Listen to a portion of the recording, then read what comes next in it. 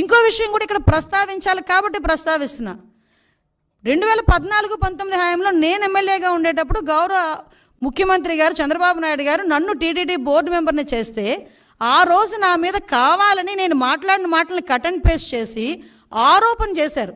ఎలాంటి ఆరోపణలు చేస్తే ఆ ఆరోపణలు కూడా నేను ఒకటే అతని ప్రాశస్తం తగ్గకూడదని ఆ రోజు మేమే బయటకు వచ్చి అంటే దళితురాలనైనా నన్ను వెళ్ళనివ్వకుండా కూడా ఆ రోజు నీ పేటీఎం బ్యాచ్ అంతలాగా సోషల్ మీడియాలో రెచ్చిపోయి నా మీద రేణిపోని అబాండాలన్నీ వేశారు. మీరు అబాండాలు వేసినంత మాత్రాన నేనే వెంకటేశ్వర స్వామికి దూరం అయిపోలేదు కదా? ఆ రోజు దళితురాలను నన్ను కూడా వెళ్ళనివ్వలేదు. దళితులకి ఎవరికి పోటీ పెట్టనివ్వలేదు. కనీసం వాళ్ళకి ఇవ్వలేదు. దళితులకి ఎవరికి నువ్వు బోర్డు మెంబర్ ఇవ్వలేదు. ఈరోజు నువ్వు మాట్లాడుతున్నావు. నేను ధైర్యంగా చెప్తున్నాను. ఎస్ నేను హిందువుని. నువ్వు చెప్పగలవా? నువ్వు చెప్పగలవా? బయటకు వచ్చేప్పుడు డిక్లరేషన్ మీద సంతకం పెట్టవయ్యా అంటే పారిపోయి ఇంట్లో కూర్చున్నావు ఈరోజు. ఈరోజు నువ్వు మాట్లాడుతున్నావు దీని గురించి. ఇలాంటి విషయాలన్నీ కూడా ఒక్కసారి మనం కూడా నేను ఒకటే చెప్తున్నా. ఈరోజు దళితుల గురించి అంటే దళితులు అంటే ఏంటంత చిన్న చూపు? ఏం దళితులు ఎవరు గుళ్ళకి వెళ్ళట్లేదా? ఈరోజు నీకు ఒక విషయం తెలుసా? తిరుమల తిరుపతి దేవస్థానం మీద డిప్యూటీ ఓ పొజిషన్లో ఉన్న వాళ్ళు చాలామంది వెళ్తున్నారు. ఒకసారి చెక్ చేసుకో.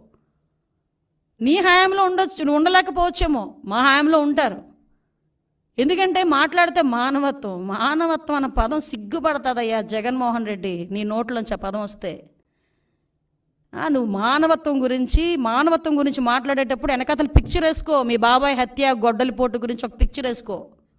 అప్పుడు మానవత్వం గురించి మాట్లాడదు కానీ వెనకతను ఇంకో పిక్చర్ వేసుకో. నీ చెల్లి వీధి వీధి ఢిల్లీ గల్లీ గల్లీ తిరిగిన పొజిషన్ గుర్తుపెట్టుకో. మానవత్వం గురించి నువ్వు మాట్లాడేటప్పుడు షర్మిల ఈరోజు రోడ్డెక్కి ఎందుకు నీ మీకు వ్యతిరేకంగా మాట్లాడుతుందో ఒక్కసారి ఆలోచించు. మానవత్వం గురించి ఆలోచించేటప్పుడు నీ తల్లి ఏం చేస్తుందో ఒక్కసారి ఆలోచించు. నువ్వు మానవత్వం గురించి మాట్లాడతావు. మన సెక్యులరిజం ఏమి సెక్యులరిజం? అందుకేనా సార్వభౌమత్వాన్ని గురించి సెక్యులరిజం గురించి నువ్వు మాట్లాడుతావు. ఇదేం దేశం మాట్లాడు. అసలు నిజంగా చెప్పాలంటే నిన్న ప్రెస్ మీట్ తర్వాత ఇదేం దేశం ఇదేం మతం ఇదేంటి ఇదేంటి అని మాట్లాడు. దేశద్రోహం దేశ బహిష్కరణ కింద నిన్ను బయట పంపించేయాలి. అఫ్ కోర్స్ నువ్వు ఎలాగో వెళ్ళిపోదాం నిర్ణయించుకున్నావేమో కాబట్టి ఇలాంటి మాటలు మాట్లాడుతున్నావు. లాస్ట్ ఐదు సంవత్సరాలు చక్కగా సంపాదించి బయట పెట్టుకున్న బయట దేశాల్లో. ఇంకెలాగ ఇక్కడ ఉన్న వాళ్ళు బయటకు వస్తే తన్నేలా ఉన్నారని చెప్పేసి వెళ్ళిపోవడం రెడీ అయినట్టున్నావు అఫ్ కోర్స్ అందువల్ల నువ్వు ఆ మాట మాట్లాడుతున్నావేమో. నిజంగా దేశద్రోహం చట్టం కనుక ఉండుంటే నిన్న ఆ కేసులు ఈరోజు బుక్ చేసేవాళ్ళని దేశ బహిష్కరణ అన్నదే నీకు కరెక్ట్ భారతదేశంలో పుట్టి భారతీయుడిగా ఉండి ఏ ప్రపంచంలో ఏ దేశం వెళ్ళినా కూడా నేను భారతీయుడినని సగర్వంగా నాకు తలెత్తుకుని తిరిగే ప్రతి భారతీయుడు సిగ్గుపడేటట్టుగా భారతదేశంలో ఉండి అదే ఆంధ్రప్రదేశ్ ముఖ్యమంత్రిగా చేసే ఐదు సంవత్సరాలు ఈరోజు నువ్వు ఇదేం దేశం అని అడుగుతున్నావంటే నేను దేశ బహిష్కరణ కాకుండా ఇంకేం చేయాలి?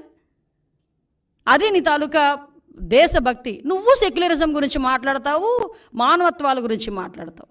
కాబట్టి నేను అడిగేది ఏంటంటే ఇప్పటికైనా మళ్ళీ చెప్తాను నేను ఎవ్వడు ఆపట్ల. వెళ్ళు. ఈ రోజుకే వెళ్ళు. నువ్వు ఎప్పుడు వెళ్తానంటావో చెప్పు. మాజీ ముఖ్యమంత్రి హోదాలో ఎమ్మెల్యే హోదాలో నీకు ఎలాంటి దర్శనం కావాలంటే ఆ దర్శనం ఇస్తావు. అజయ్ కలాం లాంటి వాళ్ళే డిక్లరేషన్ పెట్టేసుకెళ్ళారు షారుఖ్ ఖాన్ వచ్చారంటే డిక్లరేషన్ పెట్టుకుని వెళ్ళారు. ఇందిరాగాంధీ గారు వచ్చి డిక్ సోనియా సారీ సోనియా గాంధీ గారు వచ్చి డిక్లరేషన్ సంతకం పెట్టుకుని వెళ్ళారు దర్శనానికి. వాళ్ళందరికీ నమ్మకం ఉండబట్టే వెళ్ళారు. నువ్వు డిక్లరేషన్ మీద సంతకం పెట్టి దేవుడు అంటే నాకు నమ్మకం ఉంది ఆ దేవుడు అంటే నాకు అపారమైన గౌరవం ఉంది ఆ దేవుడు తాలూకా గౌరవాన్ని కాపాడుతానని చెప్పి ఒక చిన్న డిక్లరేషన్ మీద సంతకం పెట్టి దర్శనానికి పో. నేను ఎంతమంది తీసుకెళ్తావు తీసుకెళ్ళి వాళ్ళందరికీ ప్రోటోకాల్ దర్శనం చేపిస్తాం.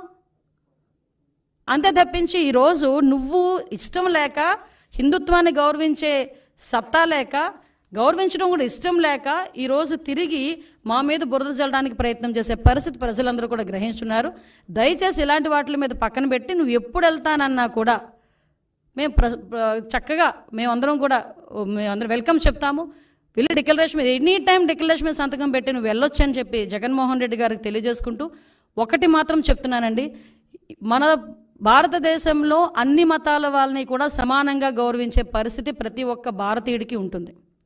గౌరవించి తీరాలి. ప్రతి ఒక్క సంప్రదాయాన్ని గౌరవించి తీరాలి. హిందువులోని కూడా చాలా సాంప్రదాయాలు ఉంటాయి. ఆ సాంప్రదాయాలను కూడా మనం గౌరవిస్తాం. అటువంటి పరిస్థితుల్లో ఒక వెంకటేశ్ కలియుగ వెంకటేశ్వర స్వామి అంటే ప్రచ ప్రపంచంలోనే ప్రాశస్తమైన గుడి. చాలామంది మొక్కుబడులు ఎలాంటి ఏ రేంజ్లో తీర్చుకుంటారంటే కొంతమంది ఎక్కడున్నా ప్లస్ కాలినడకన వస్తారు. కొండ మీదకి కాలినడకన ఎక్కుతారు.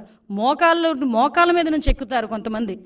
అంతమంది నమ్మకం ఉన్న అంతమందికి ఆశీస్సులు ఇస్తున్న ఆ కలియుగ వెంకటేశ్వర స్వామి విషయంలో ఆ గౌరవాన్ని ఆ ధర్మాన్ని పాటించకపోతే ఒకటేంటంటే ప్రజలు చూస్తున్నారు ఆ దేవదేవుడు కూడా చూస్తాడు.